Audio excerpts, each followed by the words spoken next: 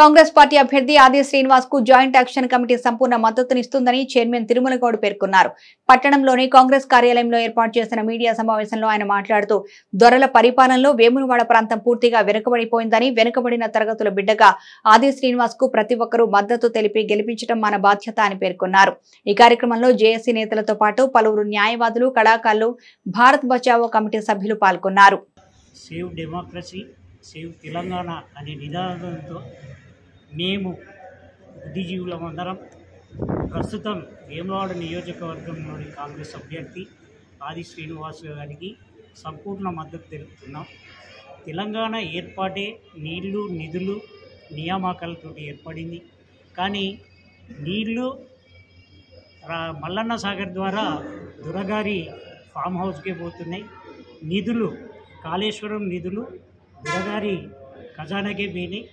ఇక నియామకాలు అంటే వాళ్ళ ఇంట్లో ఒక ముసలమ్మ కోడలు మనవడు తప్పించి అందరూ రాజకీయంగా పదవులు అనుభవిస్తారు మొత్తం తెలంగాణ సమాజం అంతా నిరుద్యోగులు అప్పుల పాలై మొత్తానికి ఉద్యోగ ఉద్యోగ ఉపాధి లేకుండా తాగుబోతుల తెలంగాణను చేసింది.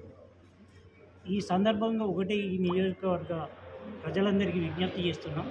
దయచేసి ఆది శ్రీనివాస్ బడుగు బలహీన వర్గాల అభ్యర్థి ఆయనను కాంగ్రెస్ అభ్యర్థి కాబట్టి హస్తం గుర్తుకు ఓటేసి ఆయన్ను అత్యధిక మెజార్టీతో గెలిపించాలని విజ్ఞప్తి చేస్తున్నాం.